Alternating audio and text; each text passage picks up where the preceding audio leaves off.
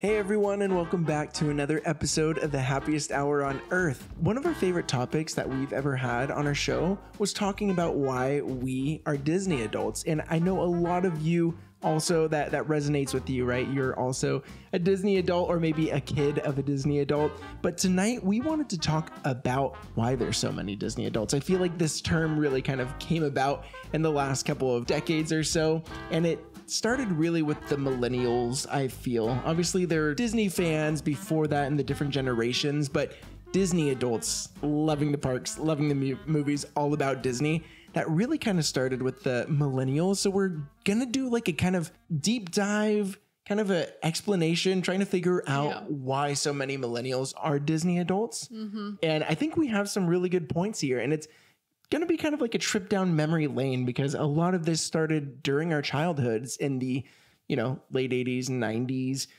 and then mm. also getting into the early 2000s and so i'm really excited to talk about this because i think it's going to bring about a lot of our favorite things and a lot of mm. your favorite things from your childhood. And so I cannot wait to get started on this. But before we do, if you're watching on YouTube, go ahead and click that like button. Hit the subscribe button as well. That would help out our show so much. We do weekly podcasts uh, all about Disney. If you're listening on a podcasting platform like Spotify or Apple Podcast, go ahead and click that follow button. Rate us five stars. That really helps out our show. And so we want to thank you so much for that. But let's go ahead and get started.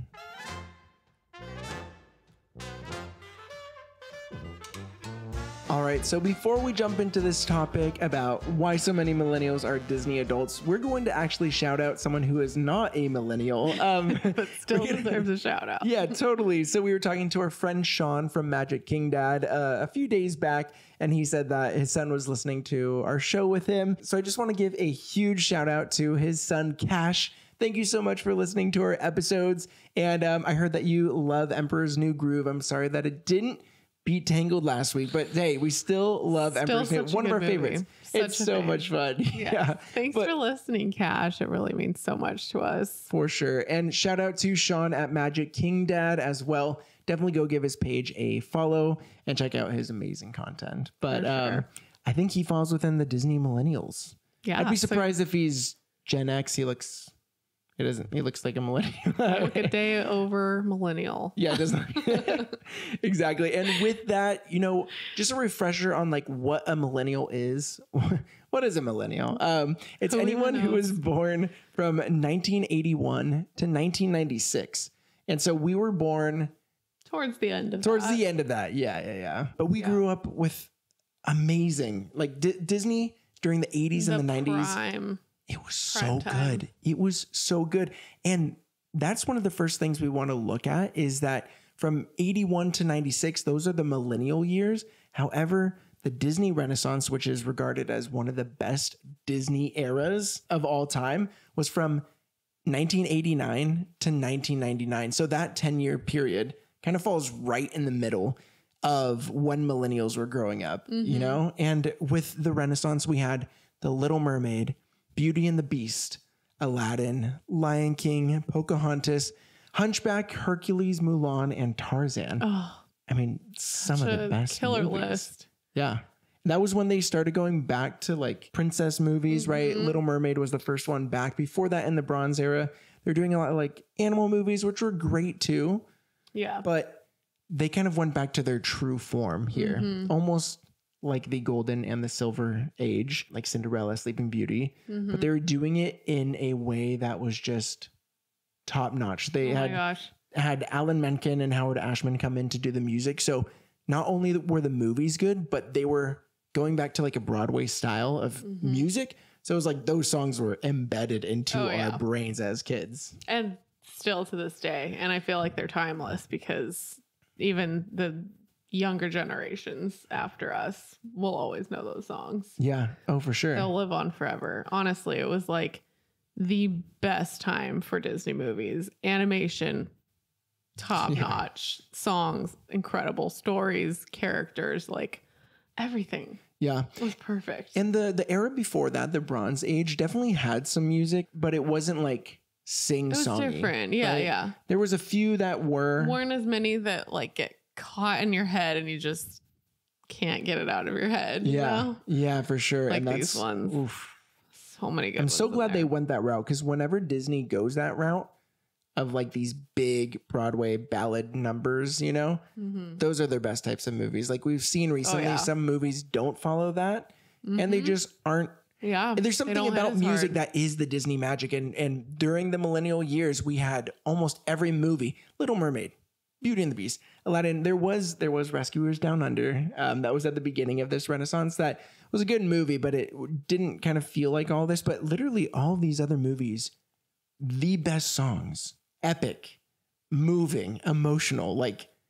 Ah, it's so amazing. And so good. and also around this time too, another thing we have to bring up, right? The Renaissance went from 89 to 99, but still within the um the millennial years, 1995, that was the start of Pixar movies. Mm-hmm. And so you had, you know, 5-year-olds at the time who saw Toy Story for the first time.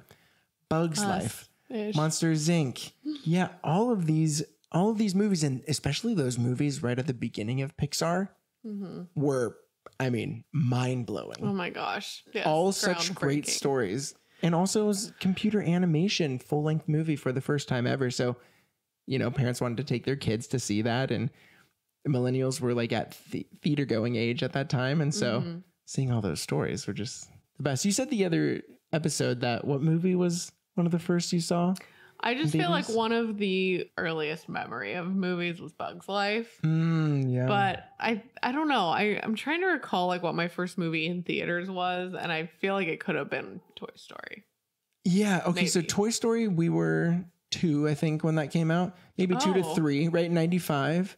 Um, could have been Oh, Toy oh, Story maybe 2, Toy Story actually, 2. which I think was 98 or 99. And that would have been, yeah, like five years okay, I old. probably was not seeing Um, it too. and, you know, with Bullseye and Jesse and all Yeah. that stuff, I, I feel Yeah, like, that's I think probably that what was it was. similar to mine too. My, I asked my parents the other day, I was like, what was the first movie I ever went to? And they said Lion King. And I was like, wait, I would have been one years old at that time. Maybe I didn't get see it, but I, I'm sure it was like Toy Story or one of those one of those Pixar ones. But we know a lot of Gen Xers, which is right before Gen Z, that are not right before millennials Mhm. that are huge Disney fans as well. But I think why you see a peak in millennials is that the era before us was the Bronze Age. Not like the best films. Like in there, you also have um, the Black Cauldron, which is regarded Oh as like gosh. one of the The worst like scariest Disney, movies. movie. Yeah. But then the era after millennials, when Gen Z was growing up, the post Renaissance, that wasn't the best kind of movies too. You had Home on the Range in there, which Mhm. I just oh my gosh, we just talked about this. One of our one of our um, guilty pleasures is hating movies that we haven't even seen. We haven't seen Home on the Range, but it just I do not Just can't see that. imagine that. it would be uh, anything to write home about. especially with the movies that came right before being amazing. Now we do love Stitch, right? Mhm. That was post Renaissance, uh, Emperor's New Groove, yeah, all that. But we were hitting a lull in Disney movies when Gen Z era was kind of born and getting into movies. Also, Gen Z got introduced to two animation powerhouses where when we were younger, we had Disney, and that was pretty much it. Mhm. We did have movies like Fievel Goes West, like a- an American Tail, one of your favorites when you were a kid. Yeah. Um. Oh my gosh, what was it called? starts with a B. B. Balto. Balto. Yes, of course. Balto. Like, Um. Yeah, that was a favorite. And then Anastasia, one- like those were all from different movie studios. What was the one? Because when you say American Tail, I'm thinking of a different movie. That's a little mouse. Yeah, like but there's sings. one that was similar. Oh, it was called Once Upon a Forest. Oh, I, I Um, haven't seen that one. Yeah, it was it was another one with like little mice and rodents and stuff. They loved mice back then. It's I guess of, that was uh, a very popular um animation form. Yeah, that's so funny. Them as main characters, but it was a favorite growing up. Yeah. I think it was 20th century or something. Yeah, I think yeah, there there was that right. Like Thumbelina, I think was in that. That I used to watch that Mhm. all the time with my sister. But so there were movies, there were, but it wasn't like Disney was way. Yeah. know, it was way crazier. But Gen Z, when they started watching movies, so 2001, we got another animated studio that just started going crazy. DreamWorks with Shrek, and now Coming you know out strong with Shrek. Coming out strong. Yeah, and technically Prince of Egypt. No, no, technically Antz was their first movie. Prince of Egypt was Oh, um, soon after that. But you know, they started doing what is it? Madagascar, Kung Fu Panda, Mm. How to Train Your Dragon. Kung Fu Panda and How to Train Your Dragon are so still so big, and you know we're seeing them in the Universal parks. They're building. You seen- know. I think I've seen Oh. How to Train Your Dragon, but I haven't seen the other ones. Oh yeah, okay. Kung- really, I grew Uh-uh. up loving Madagascar, all this stuff, Yeah, but I haven't seen it. that was because Disney was really not making the best movies, making Chicken Little, things like Oh that. yeah, they were in a slump. Yeah, things like that when DreamWorks was really taking off and everyone was loving DreamWorks movies. And it was it was animated, but it was slightly different and edgier. Mhm. Um, and kids loved that. Now you also had Pixar having the more heartwarming movies at this time, but Disney itself wasn't really. But that's the thing, the generation after us, Gen Z, they had uh more options that were just as good quality and even better than Disney at the time. So I Mhm. feel like there was a break there because they some of their favorite movies are probably DreamWorks, not Disney. Yeah. You know? That's true. That's so interesting. And then Yeah. Disney started to kind of pick up steam again a little bit after that, I think. With, Mhm. Yeah, I mean, like Pixar was doing the best, and then the revival era. trying to remember exactly when that started, but Princess and the Frog, I think, was 2009, right? that's right. Yeah. And so once they started going back to like princess movies, that's when we saw them lifting back up again. yeah. Um, Yeah. so Frozen so was interesting. somewhere in there. All, yeah. Yeah. tho- those definitely got their fan base Yeah. back. And you brought up the other day too was how the older millennials, so maybe like born in the 80s, right? They grew up with Renaissance. And then by the time that they had kids, Disney was already back making great movies again, like the Mhm. revival eras. So to- it was almost like this perfect handoff with millennials and their kids because there was no real slump. The, the slump of Disney movies, they were probably not watching Disney movies at the time. You know, they're getting into their teens and yeah. you know 20s and stuff like that but by the time they had kids they could show them the movies they grew up with and the revival era movies like frozen and prince and the mm-hmm. frog tangled all that stuff were were great were like Yeah. amazing so just very interesting but i think outside of the animated movies we got to talk real quick about live action disney movies that were actually original Oh my god. when was the last time we had like a live action Disney original movie that was not yeah, it was not a sequel, not a not a live action adaptation.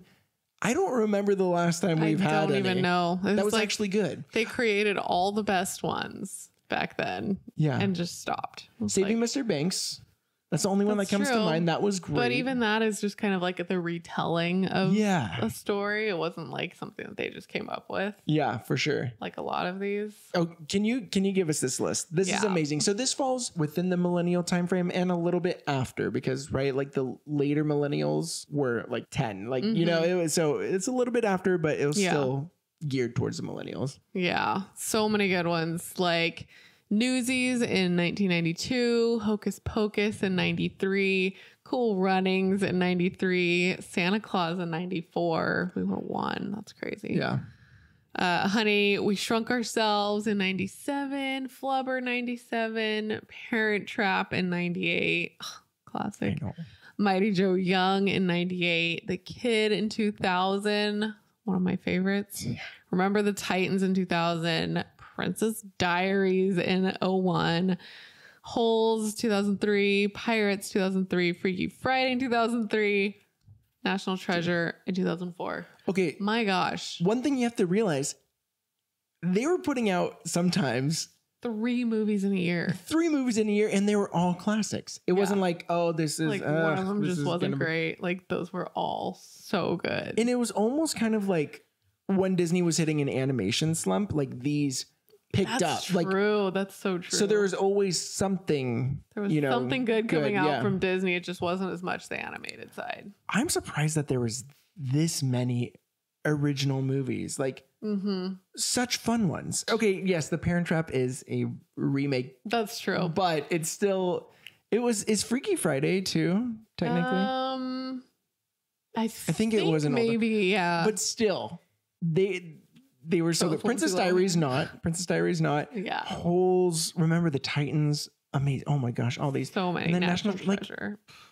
their their live action studio was so good at this time. It and now incredible. We only get like number five of movies or like Yeah. you know What- live action. Re- Like what happened? They literally just had all of their best ideas. Maybe there was one person working at the studio Yeah, at the that time had- that just came up with all of these. Actually, there then they were was gone. Ah, I I forgot his name, but there was the head of the studios at the time, and he was just known for like all these amazing ideas. I forgot who it was, but the other thing we have to think about too is we started getting into Marvel here. I mean, they didn't own own Marvel at the time, but they did, you know, in 2009 um also making moves with Star Wars and all that stuff. So I think Mhm. they're they're they had a vision for movies building out this whole MCU, doing Star Wars and stuff like that. And so it was like these big, big, big movies and universes that they kind of everything else original kind of got pushed to the side. Mm-hmm. Um, and then it just stopped. and and then it just stopped. So I hope we go back to this because this was just such a fun time to It be a was- Disney fan. oh my gosh, was it? They they were all so good. They were so good. Those Yeah. those are some of my like those movies are like my childhood. Yeah, Like when I think about movies, I mean, you know, also the animated ones, of course, but yeah, when I think of being like a kid to like preteen to early teens, like these define all of that. yeah. And speaking of that, like kid to teenager, like as we not stopped watching animated movies, but we were getting a little bit older and we needed, you know, we needed something else to kind of relate to. Disney Channel. So relatable. Disney Yeah. Channel really kind of brought us from the kids kid era of our life to like early teenage with teenage years like even Stevens in 2000, Lizzie McGuire in 2001, That's So Raven 2003, Phil of the Future. I actually didn't watch you did though a lot big fan. 2004. Mhm. Sweet Life loved Sweet So Life of. Zach and Cody 2005 and Hannah Montana in 2006. So it was almost like bridging that gap of like the millennials are getting a little bit older.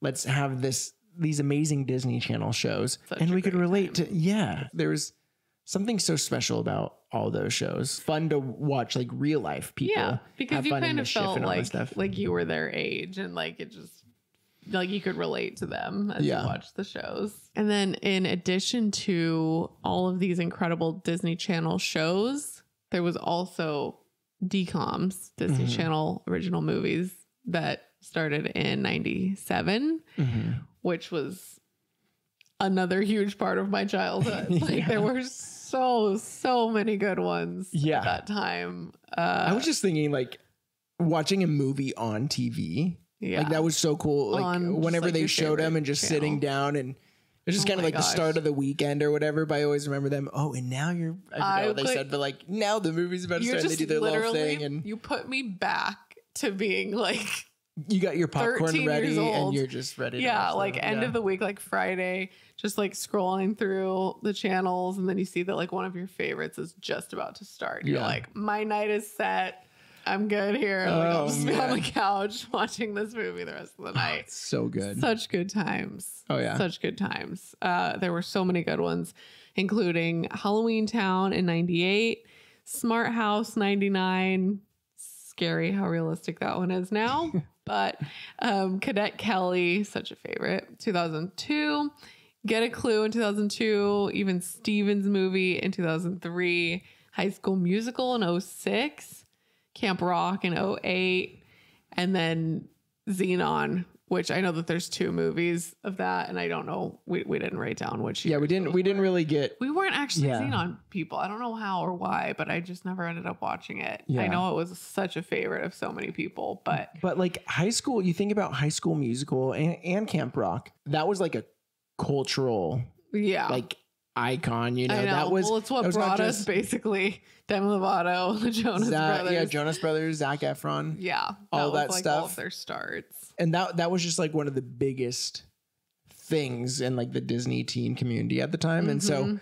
I don't know, it's just it's not just a movie. It was like a whole Yeah, a whole movement. I mean, they had like how many high school musicals? Like three, two, two two. to I thought maybe there was three. I can't remember. but Um, then there was like a There was a Camp Rock too. yeah. There was all that stuff. But I mean, it was just it was just perfect timing for every everything as a millennial. Yeah. And I think Descendants is kind of the new like show now that everyone watches, and that's supposed to be really good. You know, we kind of fell out of the the Disney Channel shows, except for Yeah. Bluey, which is now uh, Disney. But yeah, yeah. yeah, that is that is still amazing. Um, Such a good one. But I mean, I just think it was so perfect at that time. Plus, kids these days now, like they have their phone, they watch like YouTube video, they watch like people playing video games. Like entertainment has changed so much. Yeah, but we, no what we had for our entertainment was turn on the TV, sit down and watch. Mm-hmm. Where today it's like, yeah, you have YouTube, you have your video games and all this stuff. We had video games too, but it was so much more of a spectacle with sitting down and watching TV because Mm-hmm. there wasn't much else to do to do. So that was like That's how we did family time. thing, yeah. That's how like me and my siblings would connect a lot of the time with our Disney Channel shows. It was like the TV was the thing yeah. when we were kids, I feel like. So I think it's harder for Disney to really capture audiences today. Mm-hmm. Um, they have to think of other mediums. so yeah. yeah. We just have a few more here. Another thing that was crazy was not just the visual, not just the shows, the the mm-hmm. movies, live action and animated, but also the parks were going crazy at this time. We had Epcot opening in 82, Hollywood oh, Studios up in with 1989, Animal Kingdom in 1998, and then California Adventure in 2001. And I know that original California Adventure was nothing special, but it still came out. And so Still new one, and two, three- fresh at the time. yeah. Four parks, four US Disney parks opened up during the millennial years. Yes, Animal Kingdom 98 and 2001 for DCA were Mhm. outside of that, but those millennial kids were like perfect age to go to the park. So oh, for sure. um, so there was just like such an exciting boom of new things to actually experience. And it just lined up so perfectly with the movies because all the kids were loving the best of the best Disney movies that were coming out with the Renaissance Mm-hmm.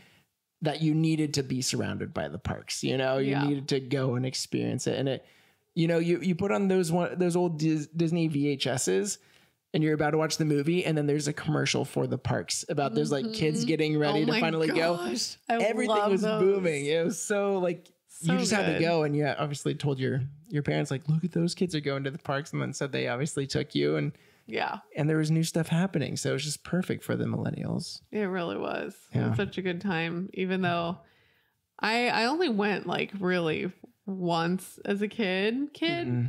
and then started going regularly when I was like a young teen. But yeah, I still, you know, I still remember those commercials Yeah. so well. And my gosh, just thinking about it, it's like I just remember that excitement seeing those come on and be like, I wish that was me. like, Yeah, yeah. know, I wish I was getting up and packing my bag in the morning. Like Oh, those were the So best good. times. Such fun So times. amazing, Yeah. Um, and then the last one here, it might seem like nothing, but honestly, I think it is very important. The last one here is that Disney stores opened in 1987. And you guys know what it was like if you're a Disney millennial walking in the mall and looking over to like the left or the right and seeing this huge Disney store sign Mhm. with the figurines like the the you know Mickey and Minnie and Pluto they're all like hanging up on the um kind of like on the ceiling or high up. And just seeing that and all the stuffed animals and all this stuff. And it was tying in the the best of the Disney movies. The parks booming all this stuff and saying hey if you if you miss this or you love this so much you could bring it home Mhm. and so that like created a huge connection, I think, with millennials who are now Disney adults because you would go and you would find your favorite stuffed animal and all this stuff or your, your favorite like new toy. Consumer products were just like booming at that time. You think of Mhm. Woody and Buzz Oh, bringing yeah. them home. Um, with Toy Story, yeah, I mean, it, it was just perfect. It was just like the perfect handshake of like movies to like incorporating that Yeah, into your they were home. It was just, their reach was far at that time. They were Yeah. just expanding any way that they could, and Yeah. they did so well with it. And then, like not too long ago, so many Disney stores closed, but they're like reopening now, right? There, yeah. So they changed it back from Shop Disney to the Disney Store.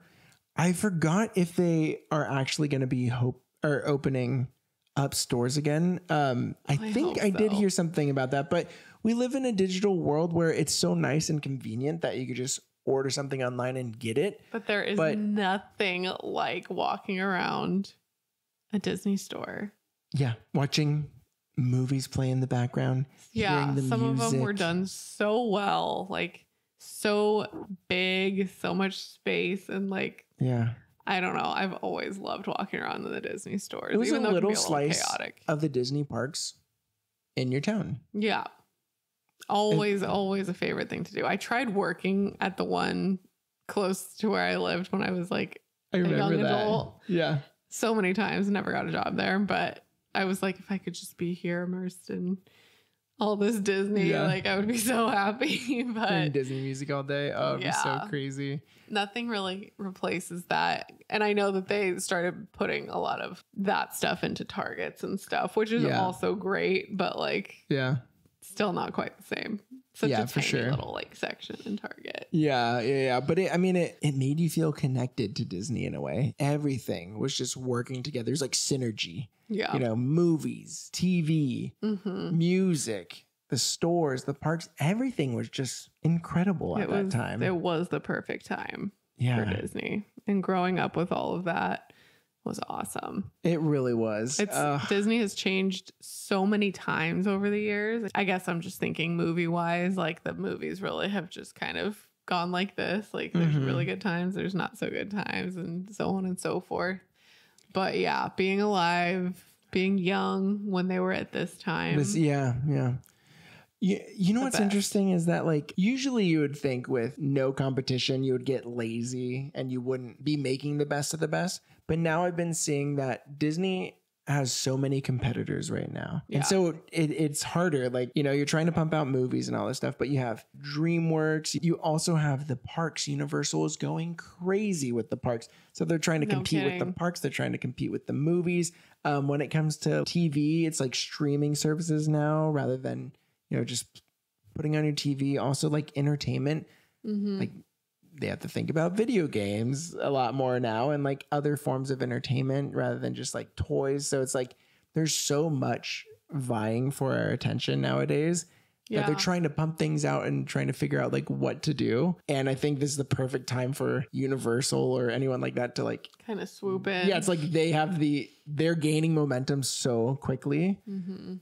that like if Disney doesn't, you know, They gotta figure it out, they have to do something. but I miss those days where Disney was just like top dog. And I think they're still top, Top dog. game. but yeah. It's not as like the separation Yeah, is getting little- thinner. little- yeah, It's a little wonky at the moment. Things Yeah. are a little more skewed than they were at this time. For Yeah. Sure. but it it makes me reminisce and. You know, with all the amazing movies, we could still watch them. We could still listen to all the amazing Mhm. music and just And it remember that immediately brings us height of. Disney. Yeah. Oh, So good. We literally watched two Disney movies over the weekend, which like never happens. yeah. But we were just we like in the Pocahontas it. and then um live action Beauty and the Beast. oh live yeah that's right that's right yeah Um, which are Um, both great. I forgot how beautiful Pocahontas was. It's been a while since we watched it, but man, every scene is like a watercolor painting. Yeah. It's stunning. It's so beautiful to watch. The colors are the colors of the wind. yeah, yeah. yeah. Oh. It's just so good. I love that movie so much. It's so beautifully you done. could do that more, making beautiful scenery with 2D animation rather than Mhm. the animation we have today is so great and looks awesome, but you can't really do too much abstract like watercolory like Ugh, background scenes making them all beautiful because you have to make them realistic in a way, you know. So yeah. But it'll always be my favorite. I know, same here. back I would then. love if they go back to some sort of 2D animation. I would too. It's Um, like yes, it shake looks up the game a little bit. more yeah. realistic now, but it was still better then. Yeah. Like it just it like I don't know. It, there's something about it that just grabs your attention so much Yeah. more. I feel like so good, so amazing. Ugh. Okay, well we we could go on all night we really talking could. about this, but we want to like reminisce with you guys. If you're if you're listening on on YouTube or watching on YouTube, let us know in the comments like your favorite part about being a millennial in this time. If you're not a millennial, if you're a Gen Z or Gen X, let us know your favorite part about being a Disney fan in that, you know, that I was almost said era, but that um Generation. Generation, yes. Yeah. We'd love to chat more Disney with you. It's always so much fun. Yeah. Oh, it's so great. No matter what Um, generation you are, you can appreciate all the generations of Disney. Yeah. But yeah, there was something special about our our millennial time frame. Yeah, and that is why there's so many millennial Disney adults. But so fun chatting about this with you guys. Like I said, definitely let us know your favorite part about Disney within your generation. Um, we'd love to hear from you. But thanks again for listening to our show, and we will catch you all next week. See you next week, guys. See you guys. Bye. Bye.